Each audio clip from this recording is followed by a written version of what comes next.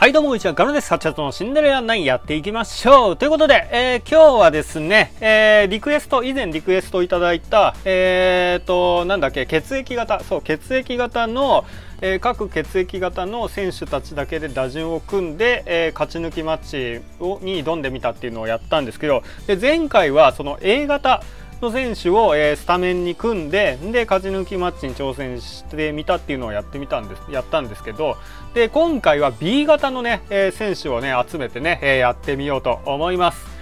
はい。で、まあそのオーダーも組んであるんですけど、まあスタメンだけね、はい、ベンチだけ、ベンチはまあ関係ない。はい。っていう感じで。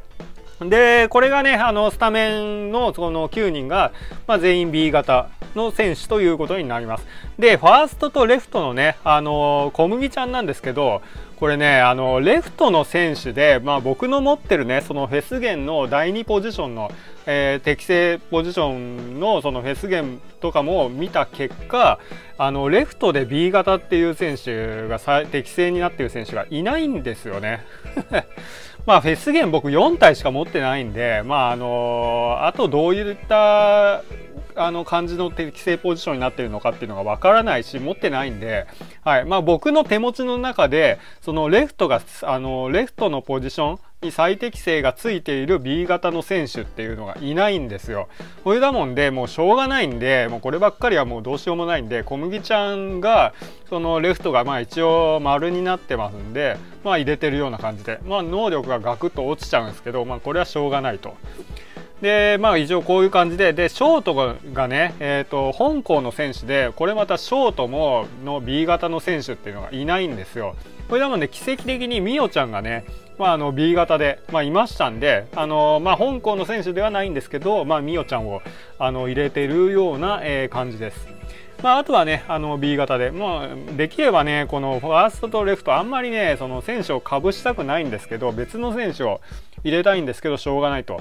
で、まあ次回ね、その大型の選手を集めてやるんですけど、大型も確かどっかのポジションがね、その適正ポジションになってないので、あの、まあ今回のような感じで、その、あの、適正ポジションが丸になってるね、その大型の選手をね、入れようかなと思っております。もうこればっかりはしょうがない。で、ベンチはね、ベンチはね、もういいかなって感じです。もう前回同様。まあ、スタメンだけでいいかなっていう、まあ、僕、交代とかもしないんで、はい。で、まあね、打順としては、まあ、あの、この、この辺のね、チームスキル、発動できそうなチームスキルを、まあ、発動させるために、こういう感じになったっていう感じですね。はい。まあ、そういう感じでね、えー、勝ち抜きマッチの方ね、やっていきましょう。まあね、あの、1から、まあ、4戦、5戦あたりはね、多分いけると思いますんで、まあ、流してやります。はい、この辺は。序盤はもう別にいいんで、はい。まあね、そうですね、あのこういうね、リクエストいただけるのはね、全然あのいつも僕、その、ガチメンツ、ガチメンツが、ま、UR と、あとなんかキリちゃんを組んでるようなパーティーなんですけど、まあこういうね、いつもと違うパーティーでやるのもね、全然面白いかなって思いますんで、はい。まあね、新鮮な気持ちでね、やれますよね。はい。まあ、UR が登場する前でもこういう打線っていう打線っていうかそのメンツで組んだことはまあないので、うん、非常に新鮮ですね。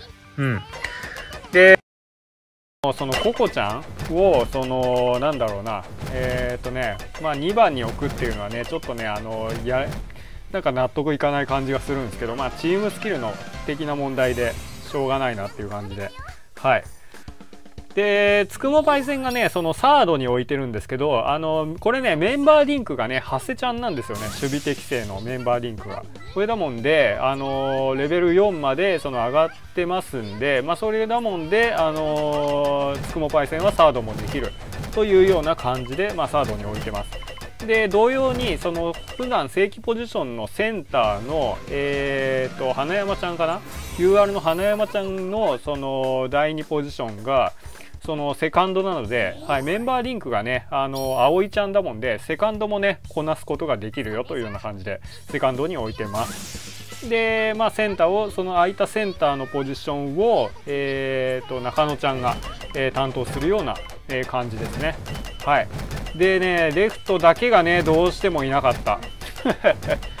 それだもんでね、もうしょうがないんでね、あのー、フェイスのね、まあ、あのー、小麦ちゃん持ってます。で、まあ、入れたような感じで。まあ、あの適正ポジションじゃないんですけどね、まあ、そればっかりはねもうね仕方がない。はい。まあねあのそこら辺はねあのキャラをねあの所持していければなっていう感じで今後ガチャ引いてね。まあ僕フェスゲンのガチャって引かないんでねそもそも。ただね UR を持ってる以上はそのあのバフ型の方のあのフェスゲンはねちょっと欲しいなっていうふうに思いました。はい。でまあねあの花属性のねあのココちゃんとかその辺も欲しいなっていう感じではいまあね年末年始のガチャでその辺のガチャが来るのかなっていう気はしますけどうんはいではね、えー、最終戦ですね。はい。こちらの方と、えー、やっていきましょう。はい。まあ、調子は悪い感じですかね。まあ、フェスゲンいますけど、はい。という感じでね、えー、やっていきましょう。はい。まあ、こっちにアンボなんでね、まあ、全然いけるかもしれないというような感じで。はい。では、行きましょう。はい。初回ヒット。で、ヒット、ヒット、いいですね。じゃあ、耐久でもうへがっつり減らしていきます。はい。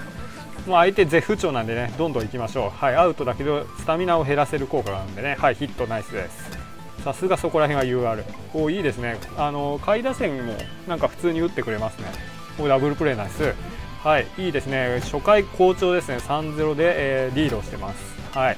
でヒットでダブルプレーになる。OK ナイスですね。守備がいいですね。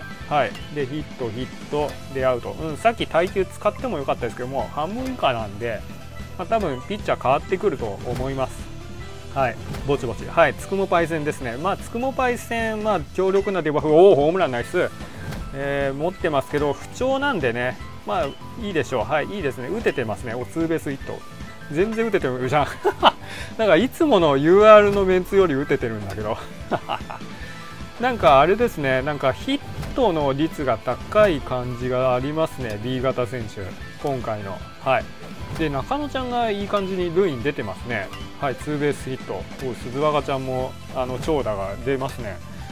いいですね。10対0はい。コールド勝ちですね。いいですね。はい。勝ちました。はい。B 型の選手でね。まあなんとかコールドまでいけたというような感じでね。はい。ということでね、まああのー、これね、また A 型の時もそうでしたけど、まあ、いつもとね、その違うメンツでその組めるっていうのは、まあ、新鮮だし、なんかやってて楽しいなっていう感じで、えー、いいですね。はい。ちょっとね、AB、次回大型ですけど、先ほど言ったようにね、その抜けてるね、ポジションの、あの適正じゃないポジションのは、その、まあ、あの二重丸じゃなくて普通の丸の、えー、状態の、あの適正具合がも丸のポジションの選手をね、まあ、使っていこうと思います。で AB 型は多分無理だと思います。はい、抜けてる選手があまりにも多すぎる。はいという感じでね、ちょっと AB 型やらないような形で、で、次回 O 型でね、あの、血液型の打線で、えー、は最後にしたいと思います。